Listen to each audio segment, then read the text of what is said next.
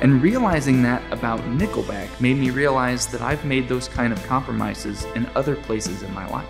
Places that actually matter a great deal more than just some Canadian band.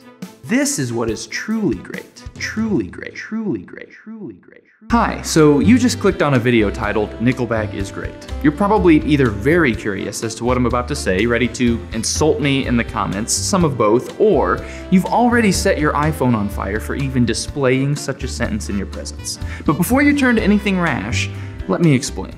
In this video, we're going to discuss what some have called the Nickelback phenomenon, how a single band can simultaneously be one of the most commercially successful bands in the world, 50 million albums worldwide, 11th best-selling musical act of all time, Billboard's most successful rock group of the last decade, 6 Grammy nominations, 12 Juno Awards, those count, 6 Billboard Music Awards, 2 American Music Awards, 1 People's Choice Award, Canadian, and a partridge in a pear tree. and be perhaps the most despised band in history. They're overproduced, formulaic ear garbage.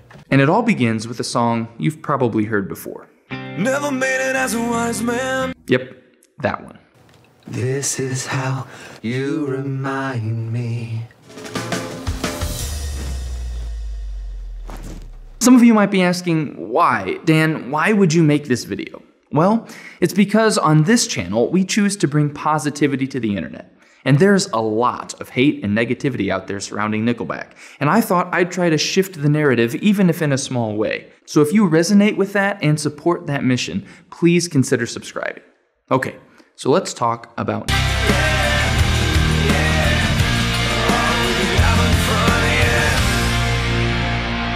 All right, before I go any further, I want to address something straight away. I'm not trying to say that everything about Nickelback is great. While I don't normally like to discuss the negatives about my topic in my videos, there are two things about Nickelback that I feel we need to discuss right off the bat. Number one, I am in no way trying to endorse Chad Kroeger or his juvenile frat boy like behavior. I am aware that he has done and said a lot of crazy and immature things in public. Those things are not great. I want this video to be clear. It's about Nickelback, not Chad Kroeger. Number two, and most importantly, I am in no way implying that I accept or condone the misogynistic lyrics used in several songs that demean and objectify women. I also do not think that is very great. But ultimately, I decided that there are still things we can and should learn from Nickelback. Which brings us back to Never made it as a wise man. Nickelback's How You Remind Me was the most played song of the 2000s. According to Nielsen SoundScan, the song was played 1.2 million times on American radio. And an objective listen reveals why. It's straightforward rock, it's decade appropriate in tone, and believe it or not, it's well written. Musically and lyrically, it stands up well. But I think this song and its massive success was actually the worst thing that could have happened to the band. It instantly did two things. It forced people to listen to that same song 1.2 million times, which I don't care how good a song is, 1.2 million is gonna drive you nuts. And number two, it gave Nickelback a formula. And I don't have to explain this to you. We've all Googled Nickelback songs sound the same. We've all heard the mashups. We get it. We collectively as a society labeled them as what's wrong with rock. But what's more interesting to me is that despite this selling out, despite all the hate and abandonment, Nickelback is still making music. If you look Nickelback up on Spotify, you see that they have 313.6 million plays of How You Remind Me and 8.4 million monthly listeners. And as bewildering as that can be for some of us, it leads to my first point about why Nickelback is great. They know what they're doing. Like it or not, Nickelback songs are catchy. Now, they are criticized for following a formula and making all their songs sound the same, but it can't be ignored that this formula works. What's also strange about the hate Nickelback gets for following a formula is that lots of bands and filmmakers and artists in general are guilty of the same thing, with no social repercussions. Look at superhero movies. How many hero origin story films follow the same pattern? Marvel alone has made more than their fair share of films that are basically the same. And we love them. I mean, I do too. For what they are, they're amazing. I just find it curious that for some reason we can't see Nickelback the same way.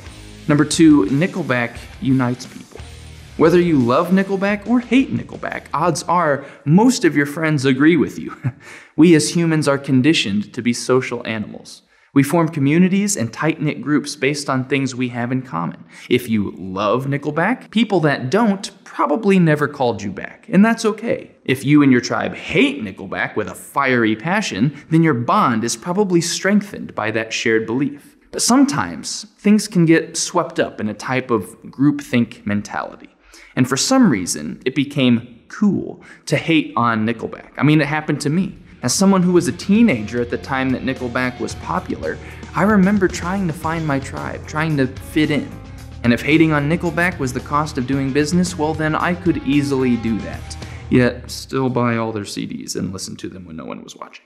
Which leads me to my third and final point. How you feel about Nickelback reveals something about you. Ultimately, musical taste is completely subjective. There are many people out there who are musical purists. They're connoisseurs of only the finest musical quality. Perhaps they're musicians or have degrees in music and they just can't stand the simplicity or the, well, trashiness of Nickelback. They probably don't like a lot of other bands either, and that's okay.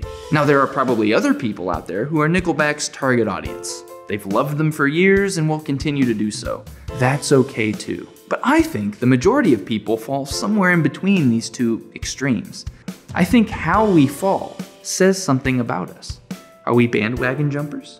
Or are we people who will be willing to admit if we like something, even if it's unpopular?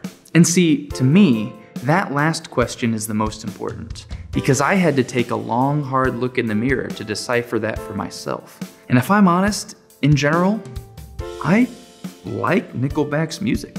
Now, not every song, but enough of them. When I hear songs from certain albums from my teenage years, I'm filled with positive emotions. I still enjoy them, and yet, I was not willing to admit that I liked something unpopular.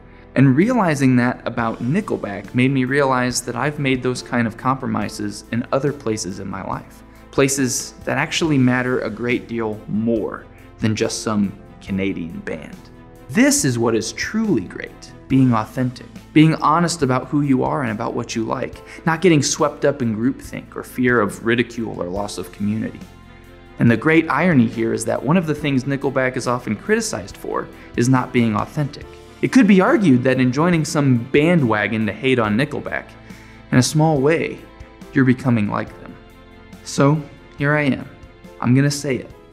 I'm Dan Drake, and I like some of Nickelback's music, and I'm not going to apologize for it. Never made it as a wise man. Hey, if you enjoyed this video, please consider subscribing and supporting us on Patreon. For as little as $1 per month, you can be part of bringing positivity to the internet with us.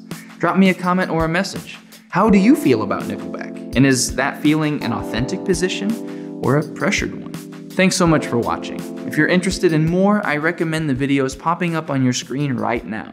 They're good ones, trust me. And remember, you are worthy of love exactly, authentically as you are.